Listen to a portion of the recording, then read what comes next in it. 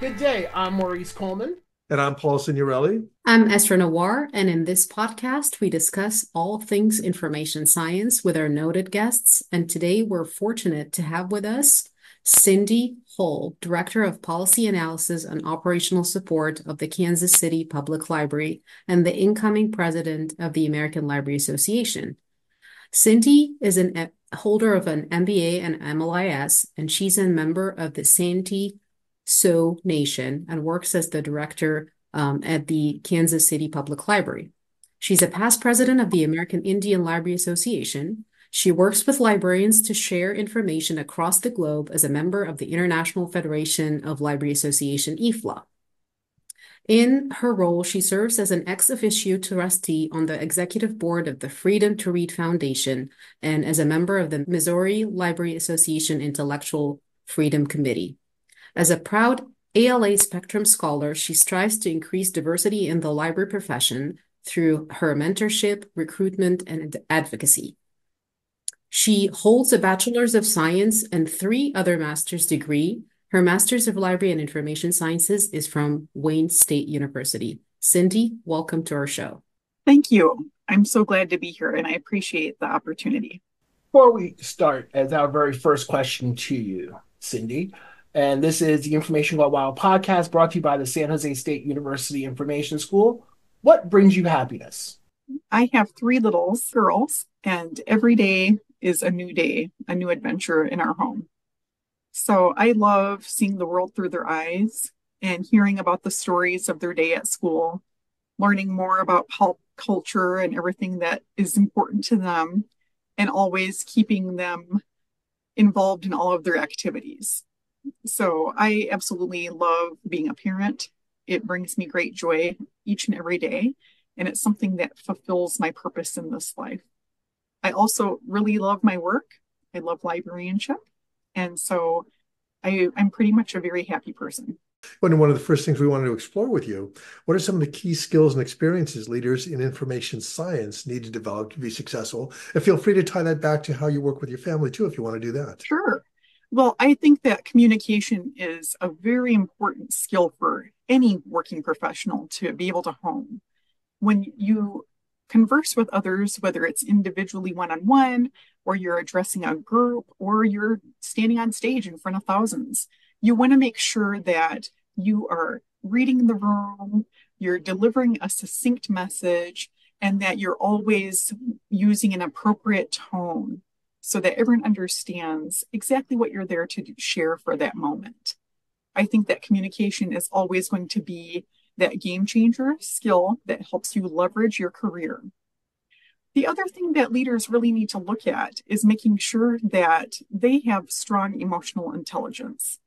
And that's something that is a soft skill that you can continue to develop over time. It's something that you learn through life it's something that you can read about and definitely something that you can practice. So I always encourage people to follow thought leaders who like to speak on the topic of emotional intelligence and just help us all learn and grow together. It's something that leaders really need to be cognizant of. And then the most important part of leadership is making sure that you have strong public speaking skills. And oftentimes, when we're in school, we don't always take that communications course. We don't always have a course that covers this. But what we need to remember is that we're all human beings living this human life together. And that while it may seem intimidating to stand and speak in front of others, it's something that you can practice. And so there are always tips and tricks as to how you can become comfortable in that setting. But I encourage everyone to practice just one on one. And if you don't have someone that you're comfortable practicing with, start with a stuffed animal, start with a pet. Just make sure that you are not only developing key messages that you want to share, but have an elevator pitch as well so that you can be effective in your communications. Cindy, I love that so much. I, I struggled 15 years ago with my own public speaking, and I remember I, I failed tremendously in my first presentation, but um, I, I applied exactly what you just said, and I actually enrolled myself uh, in Toastmasters, which was super helpful um, to to practice in front of people and have these conversations. And as you said, rehearsal, rehearsal, rehearsal is something that I've definitely learned through the years to to have those key messages. Uh, so thank you for sharing that story. I, I love it. And um, I'm also a mother of three, so that kind of warmed my heart that you um, started the the podcast today with speaking about your girls. Uh, but one of the things that we want to talk to you about in in your leadership is what what are the things that actually developed you as a leader in specifically in our field, the library and information sciences? When I started working in libraries, it was my opportunity to change careers actually. So librarianship is my second career. And I was recruited to the Topeka Shawnee County Public Library to work with Gina Millsap and Rob Banks. And they are two phenomenal library leaders who I admire and look up to. And when I was able to make that transition, it was something where they encouraged me to just jump right into it and immerse myself in librarianship. And I was so grateful for that opportunity.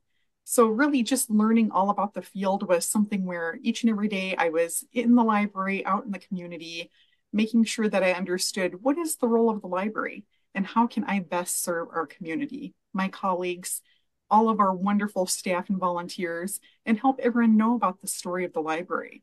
So it was something where it was a brand new experience. I considered it an adventure and I really hit the ground running in learning everything that happens daily in a public library setting. So at that particular library, it's this beautiful main building where they have thousands of visitors each and every day. They have this robust bookmobile fleet that brings services and programs and materials out to the community. They cover a 550 square mile radius, so it is a rather large county. And so when you're looking at librarianship at that at that level, it's something where you just continue to learn new ways to serve. And I was very inspired from my time there. There were so many wonderful programs. They had 3,600 programs a year, half that were in house and half that were through outreach services. And so, by just immersing myself in that experience, I knew that this was going to be a great fit for me and that I, I already knew that I loved libraries and that working in one was going to be a great fit. So that's really when I decided to pursue my master's of library and information science degree. I wanted to make sure that I had the same educational foundation as my colleagues and that I learned how librarians were trained. Yeah, I think a lot of us actually fall into this this wonderful profession uh, without really knowing what it is from the outside. And I think that podcast actually will help a lot of people know more about librarians, librarianship, and what kind of work we do on a daily basis. So thank you for sharing that story. Cindy, what are some of the greatest challenges you face as a leader in our field? Well, you know, I think with anyone really, you're limited by your time. And so you need to be very effective with your time management skills. You need to make sure that you are in the places you need to be and that you are moving into the spaces in which you want to grow. For me, I'm a very goal oriented person. And so I always want to make sure that I have my objectives set and that I'm tracking my progression to make sure that I am going to achieve those goals. To me, that motivates me as a person. Um, I always want to be able to learn how best to serve others. And so sometimes it really depends. You know, the challenge could be that at that moment there's only one of me and there's 10 library locations, or there's only one of me and there's, you know, 55,000 ALA members. So you really need to take it in stride. No two days are going to be the same in this field. It's something where, while yes, you can develop a routine and you can know your tasks in and out, you can you know be an expert in a subject matter. You can do the best job you can every single day but we will always have challenges that come up. So really it's very important that we learn how to be versatile. And by having that strength you are able to respond in the best way that you can in that moment. There will be no two interactions that are the same but what we can do as a librarian, as a leader, is to just show up in the best way that we can and listen for understanding. So, whether that challenge is with a colleague and they're needing support, that's what the leader's here to do is to listen and to provide that feedback, to understand what it is they're needing and to provide them with that support so that they can be successful in their work. because we're all in this together. That's the beauty of librarianship is that information flows freely among us and that we're here to share information and help everyone continue to grow within the profession. So if our challenges are with our community and we're limited in our resources and that's the reason why we can't, you know, do another program series or we can't continue to expand hours of operation or even grow within size. You know, we need to be realistic in, in what we in how we make the decisions that we do so that everyone understands what the role of the library is and how we can help. And then most importantly, if we have challenges from outside of the library itself, whether that be from another field, and those are just matters that are outside of our control, we need to remember that we are going to take this one day at a time. Librarians are very good at planning. We're very good at understanding the limitations and being creative with our decision making so that we can do as much as we can within sometimes limited resources. So it's something that if we look at the challenge together, we can come up with a good solution. And I always encourage leaders to continue to network and build that, that community outwards within the field, because while you are serving locally, you do have strength in numbers nationwide. And so that's why it's so important that we continue to, you know, make these connections and to just put ourselves out there and offer our support so that when challenges arise, we remember we're stronger together and, and we got this. It's a wonderful description to our students and our peers out there as to challenges we face and how to overcome them.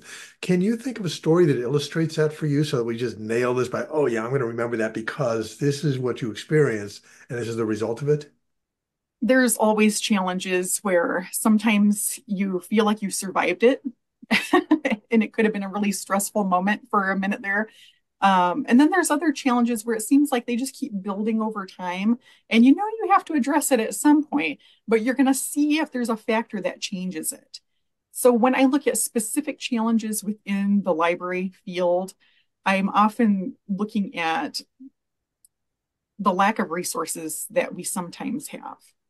And so it's so important that as we continue to advocate for our needs in our community, our information needs, and how everyone should have equal access to information, that we are not afraid to ask for funding and support. Think of one challenge you've seen in Indian country where there was a funding challenge and the community got together, either with your involvement or something you observed, how that played out. When we gather together and we're having conversations and we hear that a library has a specific need, that's when we can all work together to see what's available in regards to resources and how we can support, whether it's our time, whether it's in kind donation, or whether we're connecting people and helping them grow their network through our relationships. So it's something where, like um, in tribal libraries, a lot of times you are very limited in your resources. You may have a zero operating budget. And when I tell people that, they often don't understand that they say, well, how can an organization exist if there isn't any funding? Well, it depends.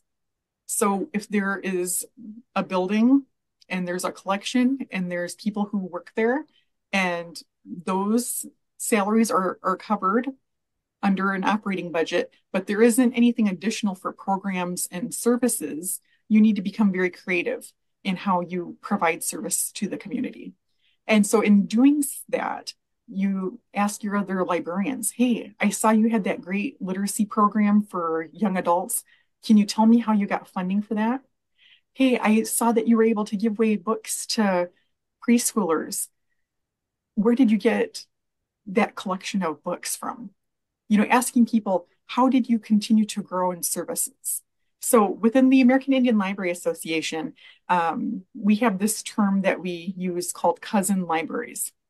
And so in a lot of Native families, we're very large in size and we have a lot of cousins. And so in the mainstream, you'll often hear like sister cities and, you know, maybe even sister libraries. But in Indian country, you know, cousin libraries, that's that's just immediately understood. This is your cousin. And so, you know, with our relations, we're all related and we're always going to remember that. And so you want to make sure that everyone has what they need. No one goes away unserved. And so if you have a cousin out there in need, you know that you're going to help them. And so I would encourage any public library, any academic library to cousin with their local tribal library if they could, or any smaller rural, rural library. There are libraries all across this country, over 17,000 strong, and so many of them lack resources at certain times, whether it's certain time of the year or if it's year over year and it's something that really needs to be addressed. But there's always going to be opportunities for us to share ideas, give free webinars so that people can access these without, you know, having that that paywall barrier. That's something that can also be helpful. I love that, Cindy. Cousin libraries. I'm going to steal that from you and quote you at some point. But before I ask you the second, the the next question is, I want to go back to something that you said that I think um, should definitely be taught in school. Listening. You said listen to understand not instead of listening to respond, which is something all of us struggled with, struggle with, um, despite of you know we claim that we're good listeners, but then you you look back at yourself. So I wanted to share with some of our audiences here a, a, a course that I'm actually enrolled in called "Listening to Engage, Empower, and Influence." Um, it's it's just a video. It's actually free online. Speaking of diversity, equity, and inclusion, it's a free resource, but it's super helpful. And I and I think all of us as leaders in our areas in our profession, and and I loved what you said about listening and listening to understand. So thank you for sharing that tip.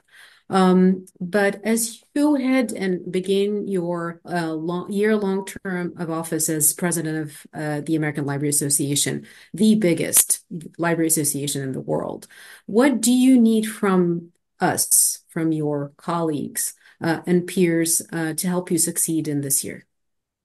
Thank you, Essraa. That's a wonderful question. Um, and I'm I'm glad you brought up listening because that's that's my answer. Um, you know, mm-hmm. the mm. creator gives us all two ears, and that means we should do twice the listening before we respond. But truly listening to seek to understand, that's what helps bring us together as a people. The beauty of our diversity is our strength. And as long as we give everyone an opportunity to share their voice, that is what's going to connect us and build those bridges. When we are able to listen to one another, to hear what the needs are, to celebrate our successes, to learn how to continue to grow and serve within our own careers and communities. That's really what the ALA is here for. The American Library Association is this, you know, the, the largest library association in the world, but it's some, one that is so near and dear to my heart because when I joined this field and I applied for the Spectrum Scholarship and I was awarded that, I, I couldn't believe it that was the first time I had ever been awarded a scholarship. And, you know, I was several degree programs in at that point. And I was, I felt so welcomed. And that's really where I felt my immediate fit within ALA. Joining this large association, there were so many different divisions, chapters, roundtables. And, you know, I, I didn't exactly know where to begin, but I knew that I was a part of the spectrum community. And so I went to our spectrum meetups that we had. I attended our webinars. I wanted to make sure that I understood that there was a community there that I was a part of and I was welcome there. And that's where I belonged. And so that's really how I started my journey with an ALA. And so I encourage students everywhere to find their fit in librarianship. And if it's not at the biggest level, to start locally. I encourage our students of color to connect with all of the ethnic affiliates that are out there, the National Librarian of Color groups, we have the American Indian Library Association, the Asian Pacific American Library Association, the Black Caucus of ALA, the Chinese American Library Association, and Reforma for the Spanish speaking as well. So there are so many different associations that exist as affiliates of ALA, and there's your state and local chapter as well as affiliate chapters. And so there's a lot of different ways that we can all support one another. But during this year, I am so grateful for the opportunity to be able to help support librarians across this field and to be able to understand how we can learn and grow together. And as challenges that rise in your area, I would love to hear from anyone to see how I can support and help. And the role of ALA isn't to just come in and take over on anything. We're here to offer support to you. So we will support your state chapter. We will support you locally. We'll do what we can to help you get the answers that you need. But this 12 months is going to just fly right by like it always does. and we're going to do the best that we can. I'm so excited to work with my advisory committee. I have 13 members who are wonderful librarians across this country, and we're really looking forward to being able to serve our members. Cindy, as a member of the Santee Sioux Nation, you just talked about inclusion. You mentioned various groups in ALA as a really inclusive body. A very big part of inclusion is nomenclature and language. Is there language that we as non-Native American, tribal members, et cetera, could use to make folks that we come in contact with feel more welcome? Sure, that's a great question. Thank you you know with anything it's it's important to see the person. You know when you're when you're with someone in maintaining maintaining that eye contact you know just you know as you introduce yourself hi i'm cindy. Um, you know i'm dakota of the santee sioux nation. It's nice to meet you. If someone has a question i am always open to answering that question. And so in this country we have 567 federally recognized tribes. That means that these are sovereign nations. And for me, I say I'm Dakota. And if I'm going to be specific, I say I'm of the Santee Sioux Nation. And depending upon what community I'm in, I, you know, I may change how I introduce myself. If I am in a community event, there's protocols that we go through when we introduce ourselves. And so we have our our regular protocol that we go through when we introduce ourselves, we use our language. And so that's something that it really depends on what community I'm in. But when you talk about nomenclature, it's something where, you know, you really just need to ask the person, what is their personal preference? How may I refer to your identity? And something, you know, I, I would hope that most people would welcome that question um, and that they would be happy to answer that because it's always better to ask beforehand than have to correct a mispronunciation or you know make sure that someone understands exactly how you wish to be recognized. That's such a nice view of that because i don't know why it's taken so many of us so long to just get to that basic how do you pronounce your name? or how should i address you seems like until we really start focusing on diversity, equity, inclusion, and justice as an issue, a lot of us were just tone deaf to that. Moving beyond the nomenclature thing, what do our students and our colleagues in the information field need to know and to better collaborate with groups that are such an essential part of your day-to-day work? So, you know, if you're wanting to build relationships with tribal libraries, um, it's always so important to just reach out and to ask for a meeting. Um, in a lot of Indigenous communities, we prefer face to face meetings because that's really a way that you can understand someone else. A lot of what we do is looking at those nonverbal cues and making sure that um, we're being respected in our space. And so, you know, there's no two tribal nations that are the same. We all have different language, culture, food, dance, traditional regalia ceremony. You know, there are so many different ways um, that people are people. And so it's important that if we have librarians who are working adjacent to a tribal community who has a library and they would like to build a relationship, that they reach out to the librarian. And I always want to encourage people to learn more about that community that they also serve. Um, the other thing that is important to know is that you don't have to be an tribal member to work in a tribal library. There are plenty of people who serve in, lib- in tribal libraries who live outside of the community and they they drive in. So there are different people who work in libraries, as we know, all across this field. But if you're wanting to connect with your local tribal librarian, it's something where you know just, you just reach out to them, you invite them to have a meeting with you. Um, again, making sure that you're respectful of their time, understanding that a lot of times they wear many hats and that they have a very small staff depending upon the size of the community. So while you may work in a well-funded institution, that doesn't necessarily mean that the smaller rural community has the same access to resources. So if this is a time where you're wanting to support them in a certain initiative, you know, absolutely let that be known um, say, hey, you know, we we have this great grant opportunity and we're wanting to collaborate on this literacy program, you know, whatever it is that you're working on. But letting them know that you see them and that you appreciate the work that they do and recognizing that you also serve the same community. Because as we know, Indigenous people are everywhere. And we don't all just go to one certain library. You know, a lot of us live in urban settings now. And, you know, when I'm back home, of course, that's a different experience. And I know how everything goes there. But when I'm living in an urban area, I have to find my community.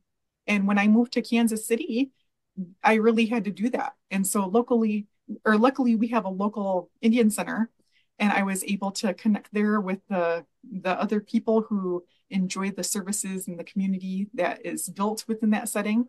And then we're also lucky that we live close to Haskell Indian Nations University down in Lawrence, Kansas. And they're not too far, and they have a wonderful librarian there, Carrie Cornelius, who's Oneida Potawatomi. And she does so many wonderful programs for students. And you know, the unique thing about Haskell, if you're not familiar, is that they have students from all across Indian country. So I think this semester they had over 150 different tribes that are represented that are currently there. And so, you know, when you're wanting to build a relationship with a tribal library, it's something where you just call them up, ask to meet, and you show up in a good way. Uh, Cindy, you've uh, erased a lot of misconceptions, and if you, you've educated me myself, uh, um, I might have shared that with you um, before the uh, podcast recording, I'm originally from Egypt. And I kind of, even though metaphorically, I mean, despite of the differences, of course, uh, metaphorically, um, I'm just going to give that example. A lot of people assume that Egypt is part of the Middle East, that the Middle East is all the same, right? And and and I kind of related to your story about like the tribes have different um, customs, dances, sometimes food and and and I love that you are educating the students about this because someone like myself who grew up outside of this country, um, I didn't know much about uh, the tribes and uh, the the Indian nations and um, how they're served and how uh, libraries in the Indian nations are cousin libraries. This is just so, so beautiful, and I think it's really important work of diversity, equity, and inclusion work that sometimes gets um, uh, really ignored or maybe not focused on, but I'm definitely committed into uh, bringing to life some of these stories and perhaps work with you through your new uh, role in ALA. Um, but uh, going to uh, leading this, this this is leading us to the other question: is what are some of the biggest challenges?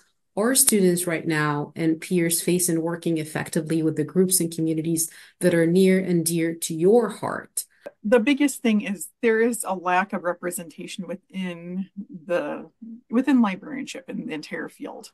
And so when we're looking at building community and trying to help people grow within the profession it's important that you have a network there. And so i do encourage students to seek out those groups where they feel that they would be comfortable where they i hope where they know that they're welcome and definitely where they feel like they could belong. And for me, that was the American Indian Library Association. When I joined the field, I immediately joined ALA, and I I definitely connected with library leaders that were serving within ALA at that time, and started reading their newsletter and looking at their website and just you know seeing uh, the different resources that were available to students. So I'm someone who when I see there's an opportunity for us to do better, I'm always going to do my part in helping make that happen. And so, it, when I was president of the American Indian Library Association, we partnered with several institutions that were also committed to diversity, equity, inclusion, social justice, and anti racism practices within the field. And we sought out an IMLS grant.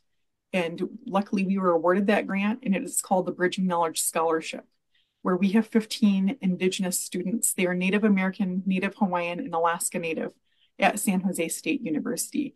And they are currently there obtaining their MLIS degree. To hear that we could have 15 more Indigenous librarians joining the field is something that's so exciting to me because the big message I did hear when I started was that, oh, you're a one percenter. And I said, what does that mean? And these, I, I heard several colleagues say, well, there's only 1% of Native Americans that are represented in this field. And to me, that immediately said, here's an opportunity. Here's something that I can do to help change that. Because I, I loved libraries my entire life. And I was really enjoying working in the library that I was at. So I thought, you know what? This is an opportunity for us to help bring other people into the field as well.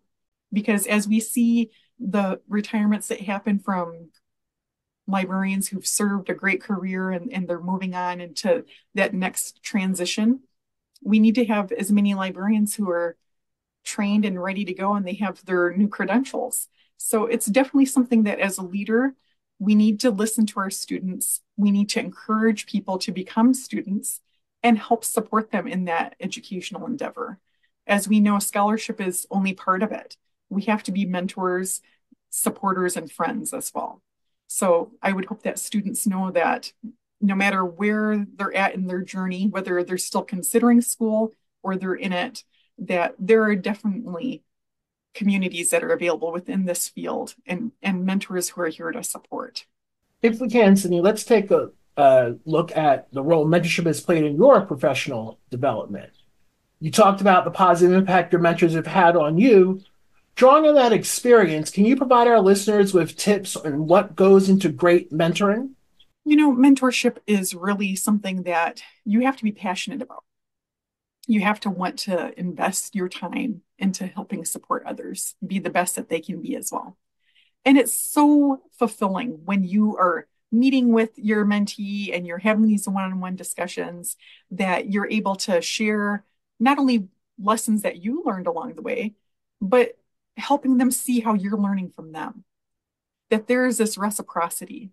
And that's something so important in an Indian country. That's something that Indigenous people we rely upon relationality, reciprocity, and respect. And so when you can have that relationship with someone, I'm hoping that it's going to be lifelong. I'm hoping that you'll check in. There's always an ebb and flow of your life and within your career. But as you go along that spectrum, hopefully you're touching base and you're reaching out to your mentees. Hopefully you're seeking out a mentor yourself because we always have opportunities to learn. And I'm someone as a lifelong learner, I always want to continue to grow. If there's a new area of librarianship that I want to familiarize myself with, I will look people up. I'll see who's writing about it, who's presenting on it, who's researching it. And I'll reach out to them and ask them, hey, can I have 10 minutes of your time? I just want to learn a little bit about what you're working on and then just see where that goes. You know, for a mentor mentee relationship, the time that you invest in that is always going to be returned to you tenfold. It's something where you're going to continue to grow and lead and learn together. So I encourage everyone, take that time to develop your own perspective because as leaders, we always have opportunities to give back to others. And that's the other thing in Indian country. We don't talk about um, ladders or like you're you're ever gonna step up above anyone else because we're always in a circle. We're always connected. We're always in service to one another, hand in hand, side by side. So for my community, we don't talk about how you elevate. We talk about how you grow in service with one another. So for mentors and mentees, I encourage them to continue to grow together. I mentioned earlier in our conversation today, Gina Millsap is somebody that you uh, learned a lot from. And I remember our conversation we had a few months ago when we were at the American Library Association Library Learning Experience event. And your eyes just lit up when we started to talk about Gina as somebody who was a great mentor. Can you tell stories about the relationship you had with Gina that illustrates the important role she played in your life and what you picked up and passed on from that? Oh, absolutely. So, like as I said, uh, Gina hired me, and you know she took a chance on a casino marketer who did not have a background or education in libraries. And I will share that my husband is a second career, or I'm sorry, second generation librarian. And when I met him, he was going to go to library school, and his mom was a school librarian. And so he always knew what he wanted to do in his career and I supported that, but I was firmly in the casino box. That that was, you know, what I did. That's what I loved. Um, and so I was intrigued by this customer experience manager position that they had posted. And my husband encouraged me to apply, and I did. And I met with Gina and Rob, and you know, we had a three hour discussion. I didn't feel like it was an interview. Um, we just kept on talking about just all all of the similarities really between public service so between casinos and libraries specifically. But when i started working with gina she was so generous with her time. You know i had a meeting with her every other week. I always you know would ask her questions. She would send me different you know articles um, different podcasts to listen to different blogs to follow. Um, she's just a very giving person. And so I really respected her as a leader and the way that she led our team. And so she's definitely someone that I admire and look up to. And I'm so grateful for all of the information that she shared with me. And, you know, when you work with a selfless leader like that, someone who feels that the time they share with you is an investment, not only in you, but in their career, that's a very positive place to be. And so I really in, enjoyed my time there. Um, it was a bunch of fun loving people who, you know, they were passionate about librarianship, they were committed to serving the public and to just, you know, showing up in a good way and doing the best that we could every day. And so when you have a phenomenal leader like that, um, it, it's such a gift.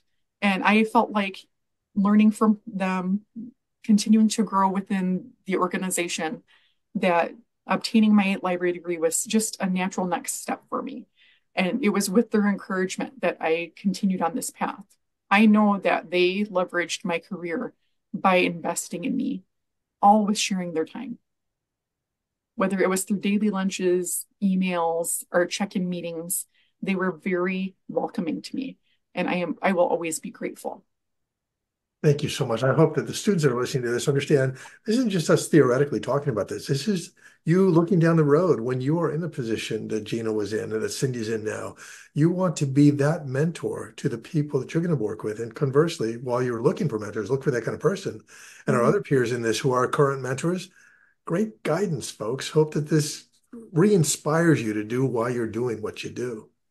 Yeah, I love this. It's, it's very heartwarming uh, I've had great mentors as well that I'm grateful to, and very, very similar stories about sharing resources. Uh, and I try to to pay it forward because um, you you want the profession to be strong, and you want the profession to continue to have uh, librarians and library professionals and people, library supporters and paraprofessionals that are giving and have their hearts and minds uh, into the profession.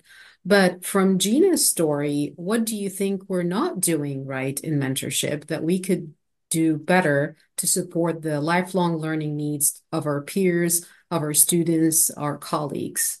Well, I think that we could always commit to supporting every single student in library school, whether that's through a formal mentorship program or an informal one where you're just checking in with your staff.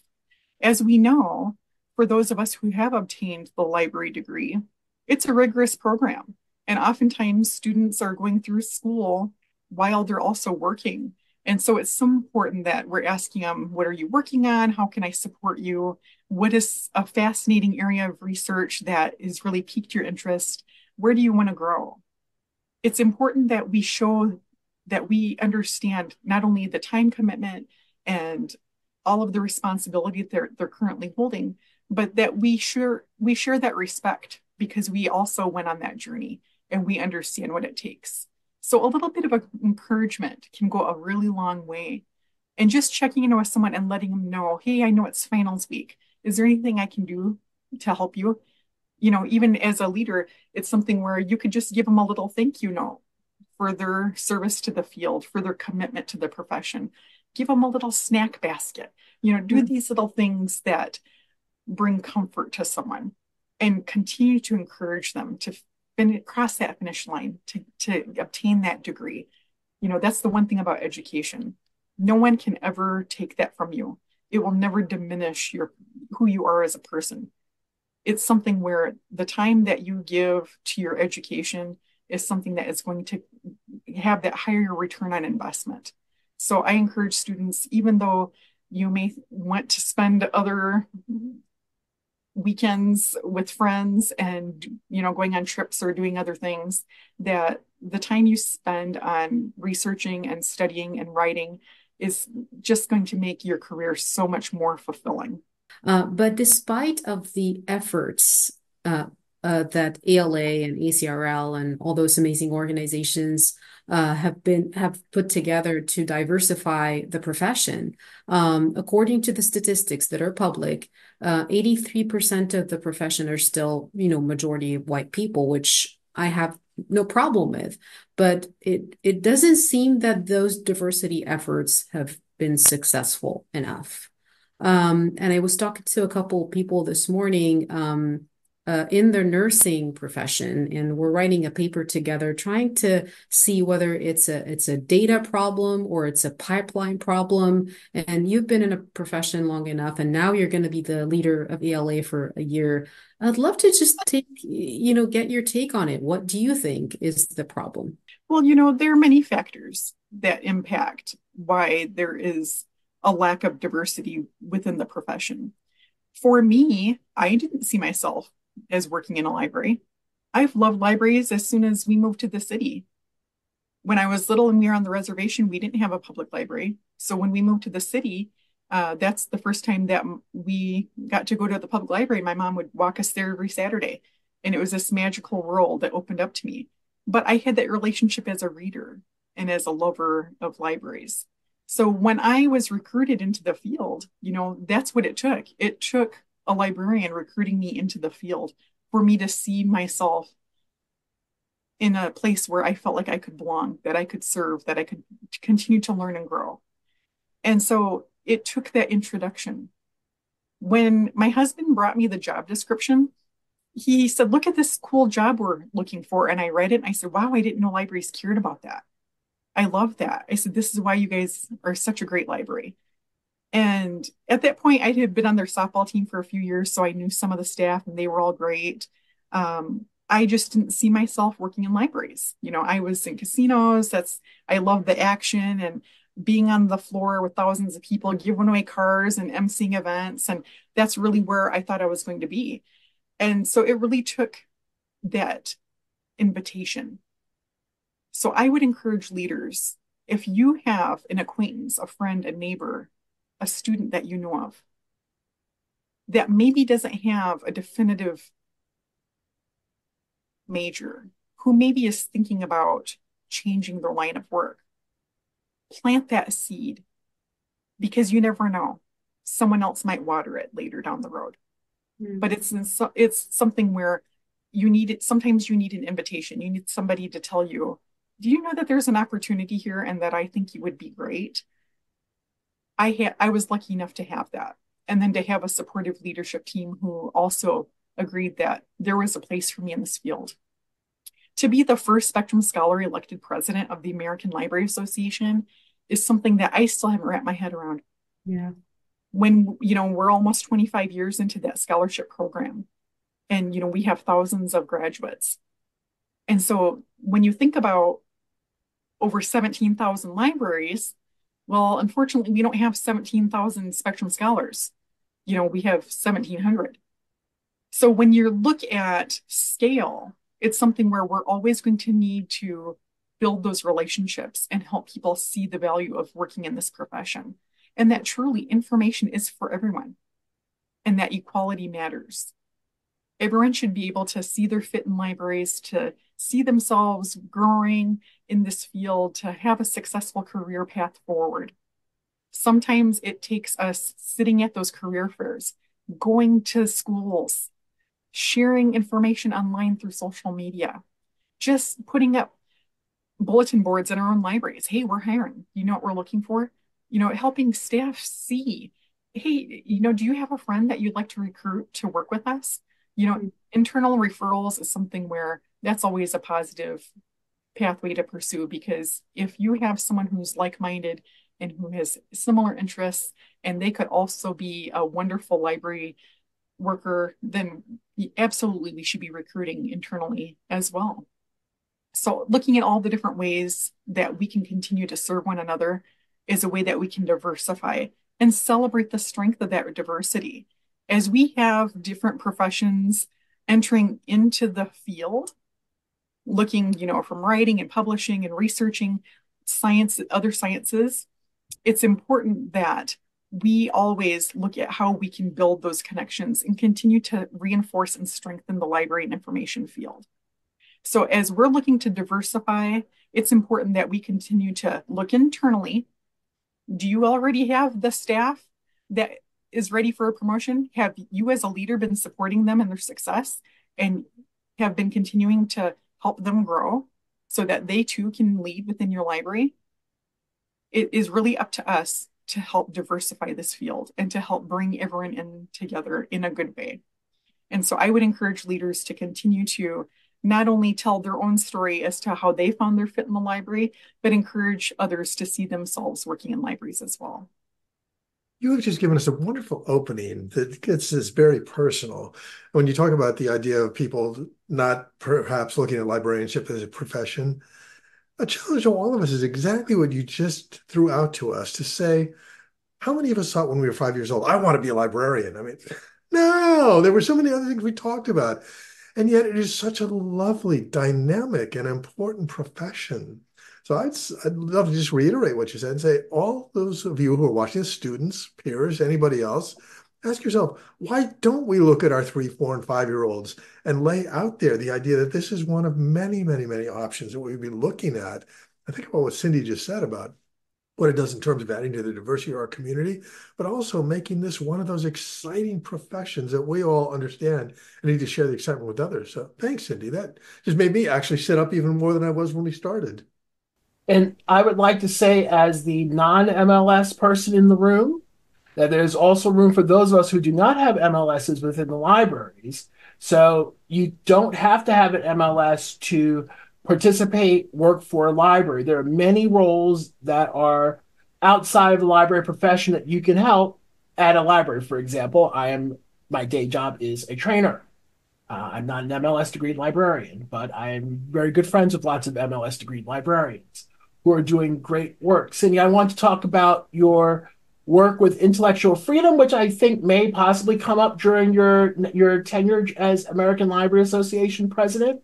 If you could talk about your work with the Freedom to Read Foundation, how you got involved with it. Well, intellectual freedom is something that is very important to me. It's personal. There was a time in this country when the original inhabitants, the indigenous peoples of this land of these lands, were outlawed from speaking, singing, reading, or writing in our own languages. And when I tell people that, they often, you know, they, they give me a curious look, or whether that's the first time they've heard it or they think it was a long time ago. I then lead them into the zinger that when my grandparents were born on our reservation in Nebraska, they weren't considered American citizens. And it wasn't until they were five years old that they were finally recognized as American citizens. And that's when they were taken from their homes and placed into residential boarding schools, where they were told, You're no longer Dakota. You do not speak your language. You do not sing your language. You do not write in your language. And do you know when that finally changed, when the final law changed, when we could all sing together again? It was 1978 this was not hundreds of years ago. This wasn't way back when. This wasn't when Native Americans were discovered. This is within our lifetimes. And so it is so important to me that people understand that we do not silence voices in this country. No one's illegal on stolen land. And I know that when I say that, some people don't understand that. But truly, from an Indigenous perspective, why would there ever be a law that tells people they can't be who they are, that they're not allowed to communicate in their own language? And so it's so important to me that I will always be the voice, hopefully of reason, for people to understand that there's great value in supporting people in their humanness, helping them be who they are. The Creator made us all, put us here with a purpose and a reason. And in my family, that means we speak Dakota and English. And there's nothing wrong with that. There's beauty in diversity, and we all have wonderful stories to tell. So for me, intellectual freedom means being an American. It means that everyone has First Amendment rights. It means that everyone is an equal and that you should be able to see your stories of your people on any library shelf in this country. It means that you should be able to read books that are written in your language, that you can speak your language freely in society, and certainly that you can sing the language of your ancestors no matter where you go. Thank you, Cindy, for that answer. That was beautifully done. Uh, so, how are students and our colleagues in the information field can become involved in the work of the Freedom to Read Foundation? Um, like, yeah, there, most of the students, I remember when I was in library school, I didn't know much about the movement, and uh, I think it, I would have benefited a lot if I had known then. So, what do you think um, they sh- they should know and they should do um, as they are still students in library school? Join the Freedom to Read Foundation. It was the best $10 I ever spent. I joined as a student member and I started getting the newsletter and I started following the, the free webinars that they had.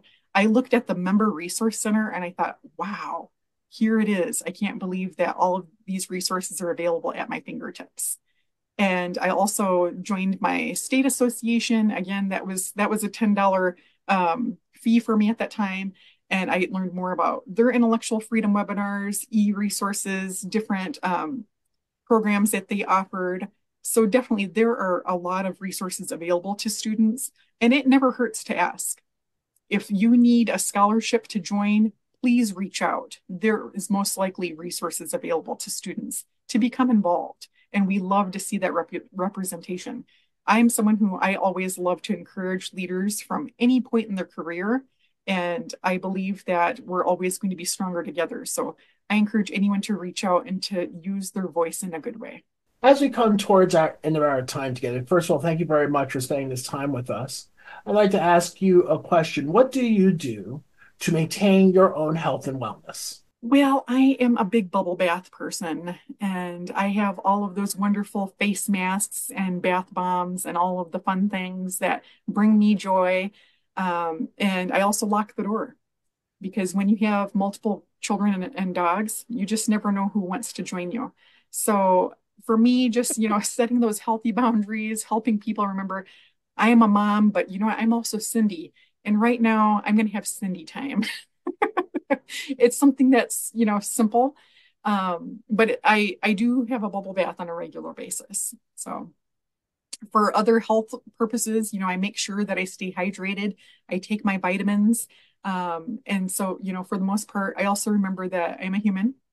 I try to remind myself that each and every day that no one should ask more of me than they would ask of themselves um, sometimes folks can get real unrealistic when it's your time I have to remind people I only have the same hours that you do.